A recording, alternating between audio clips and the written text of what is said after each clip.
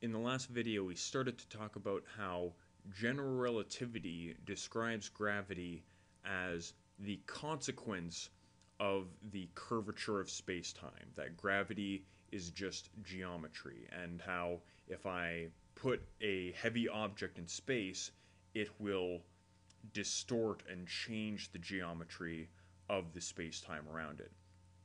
So what I want to do in this video is talk a little bit about what does it mean to have a different geometry or, or warp geometry? Um, because most of us are used to the kind of geometry that we're introduced to in, in elementary school. Say the kind of geometry where if I have two straight, two lines, and uh, a third line uh, intersects both of those lines, if these two angles are 90 degrees, are, are right angles, then these two lines have to be parallel and they will never intersect no matter no matter how far you go. Or the uh, kind of geometry where if I have a, a triangle and I add up the angles of that triangle, then the the angle sum will equal 180 degrees. These are the kind of rules that we see in our in our early geometry classes in, in elementary school or high school. This kind of geometry, uh, which was thought to be the only kind of geometry that that uh, is actually present in the real world for hundreds of years, uh, that was the belief. This is referred to as Euclidean geometry, and it assumes that space is flat. Now, there are other kinds of geometries that we can have. Let's say I have a sphere. And uh, I'll draw the equator of that sphere. Let's say I have, I start at the equator and go towards the North Pole. I start at some point on the equator and go to the North Pole. Then I change directions and go back to the equator. And I hit the equator and then I return to my original point. Well, we notice a couple of things that first that all of these are straight lines. These angles are 90 degrees. So, and and this angle is going to be, you know, some other angle. We don't know what that is. But comparing it with this picture, we have two lines that are intersect are intersected by another line, the equator, and they form 90 degree angles, just like this one. But where these two will never intersect, these two lines do intersect at the North Pole. We also notice that the, the angle sum, if we look at this triangle formed by these three lines, the sum of the interior angles is actually greater than 180 degrees. We have right triangle, so 90 degrees plus 90 degrees plus whatever angle this is. It's going to be greater than 180 degrees. So this is a very different kind of geometry than we describe in with just flat space. I can have a different kind of geometry, a, a saddle-shaped geometry, and we'll see how my artistic ability is here. Something that looks like this. So we have some sort of saddle shape. Oh, uh, that line should go this way, I think. So we get this weird saddle shape, and if I do the same thing in here, I can I can make a triangle, and on this sort of a shape, a triangle might look a little bit like this. And in this case, the the sum of the angles, the angle sum for this triangle is going to be less than 180 degrees. There, there are yet other uh, complications. Let's say, uh, let's go back to flat space for a minute, and I'll draw this just up here. Let's say I have a vector pointing in some direction, just an arrow. Well, I can move that arrow wherever I want. So I can move it first this way, and then I'll move it this way, and then I'll move it back. So this green arrow just moves around this track and comes back and returns to the same point that it originally was. Well, let's do the same thing with the sphere. So I'm going to draw my sphere again. I'm going to draw this sphere. And I'm going to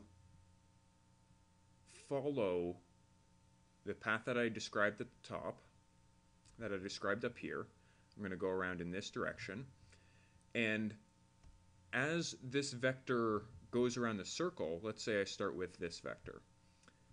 As it goes around, it's going to change its direction. It's going to be pushed and still be pointing straight on this curved space. So we go up to the North Pole, and then we go, we continue to move this back down to the equator, so it might be pointing in that direction now. And then if we bring it along the equator back to where we started, we notice that the starting vector is different than what we get when we move it around this curve. This is a this is a strange effect of of non-flat spacetimes, of non non-flat spaces actually. So we see these weird effects with the with these uh, non-flat geometries. So what can we still say is the same?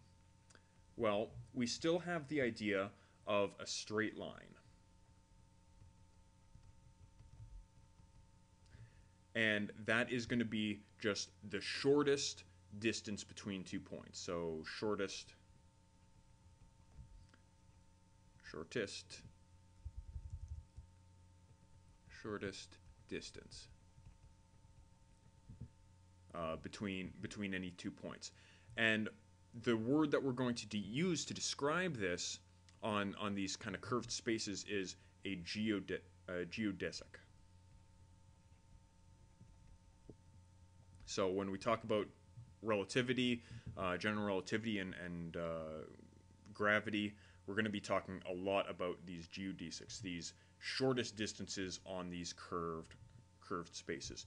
So, for instance, for uh, a sphere, if I have two points, then the shortest distance between those is going to be what's called a great sphere, kind of an equator-like line around it, or uh, lines of longitude are also great spheres because I could extend this uh, this yellow line all the way around the back of the sphere, and we have a notion of what a straight line is in uh, in these curved spaces. Then we also have an idea of a metric, which measures, which is a way that we measure length.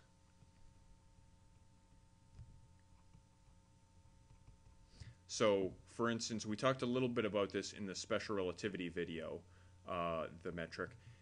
We know that in flat space we have Pythagoras theorem. So if we have, if we have, uh, I guess I'll go down here. If we have a right angle triangle and a, b, and c, then we have a squared plus b squared equals c squared. So if I want to know this length, then, but, and I know the components, I know an x component and a y component, I can calculate that length. But when I have curved space, these metrics are going to be different. And then I have a notion of curvature,